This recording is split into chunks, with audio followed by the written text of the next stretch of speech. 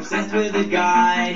She talks for hours, and still tomorrow she'll call again. And when he thinks that this could be the end, she calls again. At six in the morning, she waits at the door.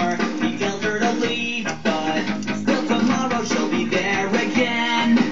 She won't let